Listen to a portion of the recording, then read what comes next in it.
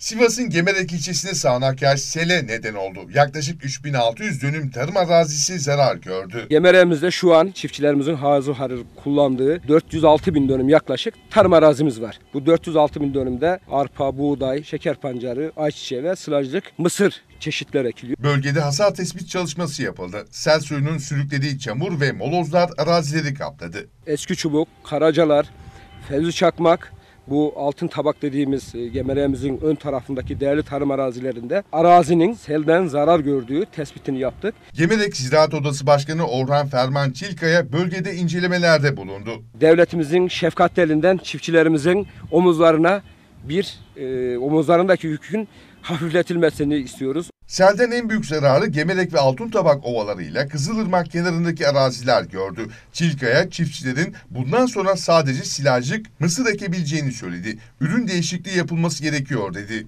Bu saatten sonra vatandaş buraya ne ekebilir? Bir mahsulümüz var o da sılajlık mısır. Ee, Haziran'ın 30'unda bitecek olan ÇKS kayıtlarının böyle afetten zarar gören il ve ilçelerimizde bu sürenin uzatılması lazım. Çünkü vatandaş burayı ÇKS'sinde şeker pancarı olarak göstermiş ama şimdi e, ürün değişikliği yapacak.